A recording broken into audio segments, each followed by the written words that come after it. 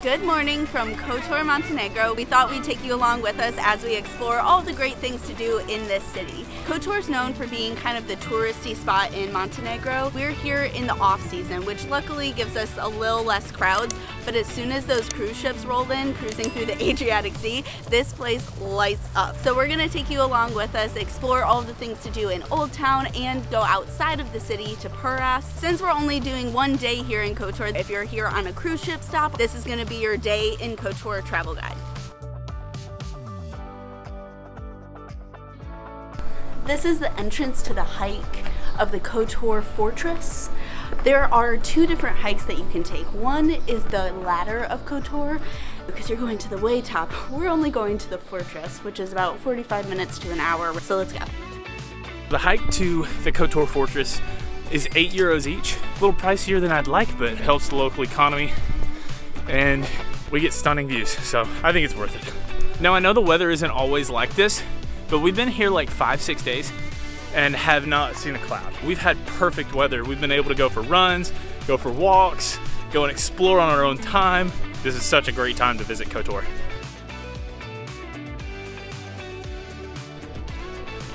Stunning. It's straight up from here. Yeah. Still climbing.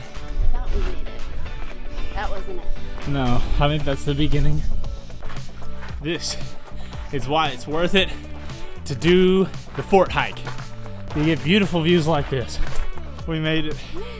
I thought for a second we were on the ladder Yeah. because it took us definitely longer than I thought it would. If you want to go to the church, which is probably about 20 minutes into the hike, it's not too bad. Once you get past the church, it's like straight uphill all the way up to this fortress, and then you hit the beginning of the fortress, and then you have to continue on to the very top, Uh-huh. which is where we are now. Yeah. There are cats everywhere here in Kotor, and they are actually a sign of good luck. The symbol is a lion, and they thought of the cats as little lions. So they started getting a lot of stray cats here, and now they're a symbol of good luck, and you can find them everywhere. So now we're gonna go through the old town here in Kotor and explore that uh, because the hike to the fortress basically spits you out right in front of the old town.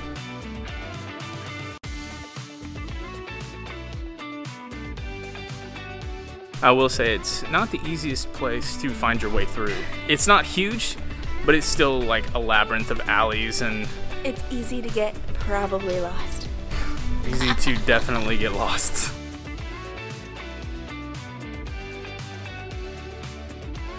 When in Kotor, you're also going to realize that there are no shortage of options for food. However, we have already found a place that we love. It's called Delicious Burgers. We're not going and getting like traditional Montenegrin food. We kind of feel bad about that, but at the same time, we really want to highlight this little business that's just outside of the gate. I've never needed water so badly in my life. Desperate. We felt like we had to get a burger, but the chicken sandwich here is definitely worth noting. You can't really go wrong. We accidentally ordered two chicken sandwiches, but it's huge. You like it? So good. We're gonna roll out of here. Thanks so much. You guys are the best. See y'all. The problem with having a take takeaway back when you're married to Hannah, she's gonna just like sneakily take so many fries throughout the afternoon. Stop. If you're in Montenegro, you can pretty much get by on just public transport. We've not really driven while we've been in places, so it's just a matter of your preference and your budget restrictions, honestly. We're going to Perast. It's a short 15 to 20 minute drive depending on traffic from Kotor.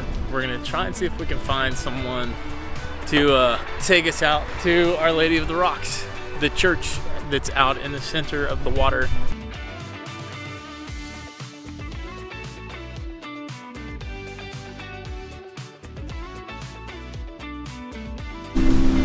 I hope my camera work is making it clear just how beautiful this place is.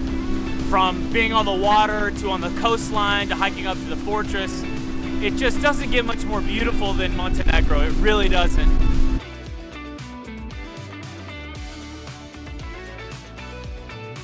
Thank you. So he was telling us on the boat, this is a man-made island. The people of Montenegro for years and years and years would come out and put rocks down and they finally built this beautiful island. So from a time perspective, it's about two to five minutes trip by boat from Perast all the way here to Our Lady of the Rocks. And it costs us 15 euros. He dropped us off. He's gonna come back in about 20, 30 minutes and bring us back to Perast. But I mean, 15 euros to get a little quick boat ride through the through the bay to come and see this place. I feel like 15 euros is a small price to pay and totally worth it for what you get. Okay, love, love, love, love KOTOR. I can't say enough good things about it. Everything is just so picturesque. I don't think there's a bad view in the entire city. Montenegro has very incredible people and it's just been a great experience.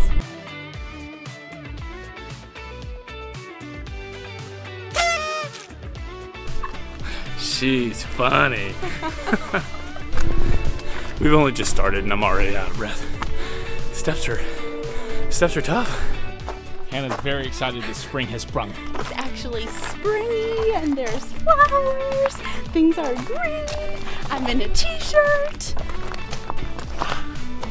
All right. Trey, do you want me to take the backpack? Are you getting that on but on the record? so that, I'm gonna let the record show Hannah offered. I'm saying no. I'll regret it later. But I'm gonna say no. Let's keep going.